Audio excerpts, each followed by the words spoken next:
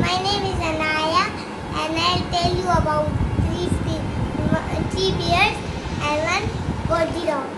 Once upon a time, I, there were three bears, mom, um, daddy bear, mama bear, baby bear. They can, can gone to the jungle. The girl named Goldilocks, they went to, to her house. They looked at the forest. Goldilocks, Goldilocks. All bowls and they, were, they went and they were going to eat and we go up. We eat forage. The, the, it was our bear forage that was too hot. Then he eat mama's forage that was too uh, too cold. Then he eat and baby's forage that was good.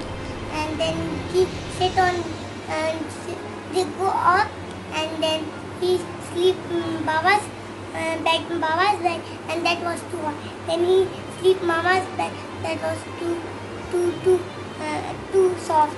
And he She sleep um, uh, baby's so that was good. And then they come to her home and he was sleeping. Then then they see uh, and the dad daddy bear somebody is sleeping in my bed. Then mommy bear said uh, somebody is sleeping in my my bed. Then then who then baby said um uh, baby was right and he said um, somebody is sleeping in my bed. Then daddy see and he ran away.